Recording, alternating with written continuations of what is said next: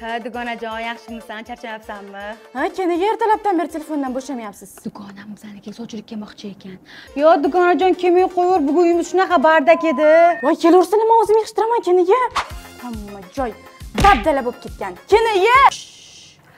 O'rtoqjon bugun kelmay qo'yaveringlar uyda ovqat yo'q edida ovqat bor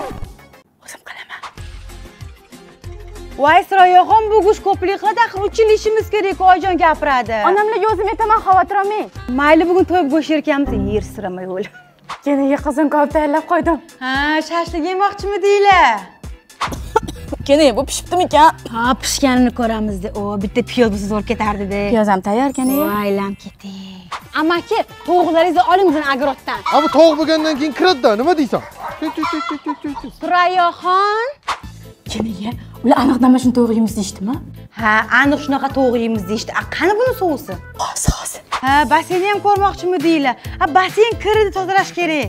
Tozalayman ha surayyoxon basseyn tozalayapsizmi hormang Ha, dada bu telefonni olib ketyapsiz? Qizim bu telefon 15 yildan beri ishlamaydi. Musorga chiqarib tashlayman buni yo'q Yes, ha. bizda tovuq qayerga ketibdi